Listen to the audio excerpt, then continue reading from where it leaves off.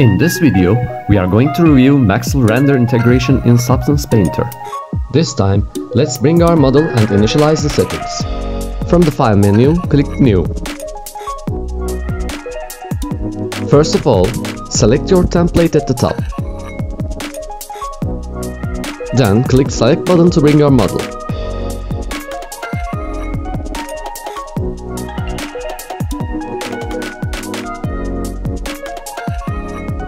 Okay, we can start.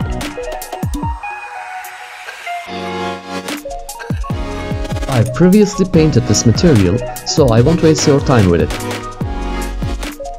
Here, you can see the material layers. What I'm going to do is activating them one by one and then exporting each state as a set of textures to check how it works in my scene. Here we have the first layer titled Steel Painted Rough Damaged. I'm turning it on. As you see, it's quickly appearing on the left side. My material is not finished, but for some reason I want to check it in my scene. Here is the test scene I'm going to try it with. Okay, going back to Substance Painter as I need to export my textures first.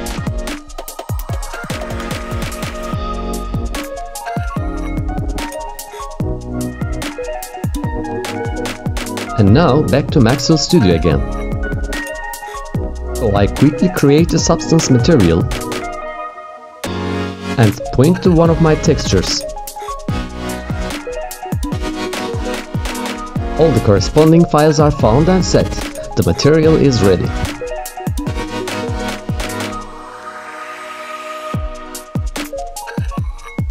As you can see in the Maxwell Preview window, it renders just as expected.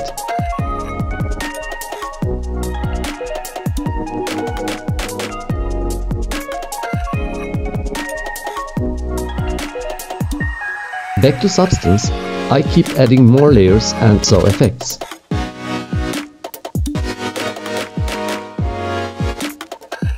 So far so good. Now I can re-export the textures and see the changes are updated on the Maxwell site immediately.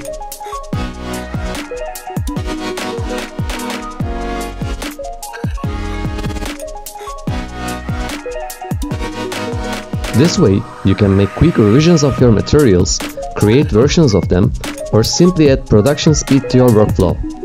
Thanks to the Substance Universe integration in Maxwell Render.